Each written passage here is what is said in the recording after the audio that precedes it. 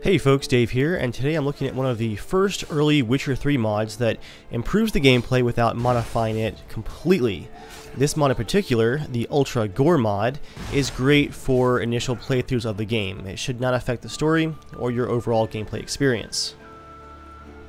Now obviously, sword combat in the world of The Witcher 3 is brutal and unforgiving, so what this mod does is, it just slightly boosts the percentage chance of gore and dismemberment during combat.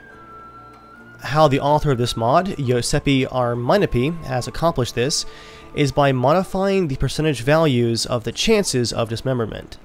This is not a every single time you give someone uh, gore flies everywhere mod like Fallout, but it just increases the overall likelihood. It's actually pretty balanced.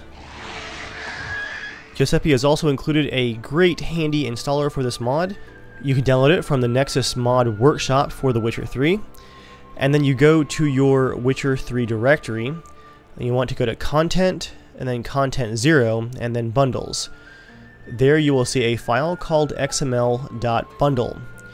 Make a copy of that file. In my case, I made a new folder and dropped it in there.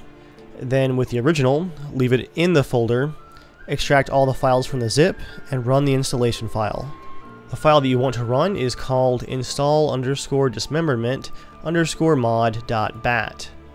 Here you can select a percentage chance for dismemberment, but I would actually suggest that you go right for the 100%, because like I said, it's just a percentage chance on top of a number of other modifiers. This is not the only thing that modifies this value.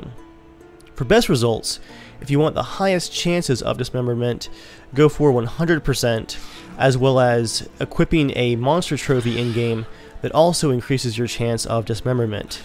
I believe some trophies like the Wraiths can do that.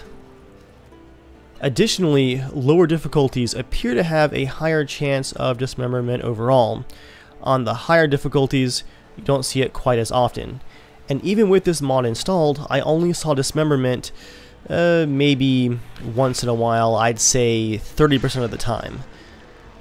It's not a complete shift from the vanilla game, but it's a nice addition to see a bit more of that brutality in combat.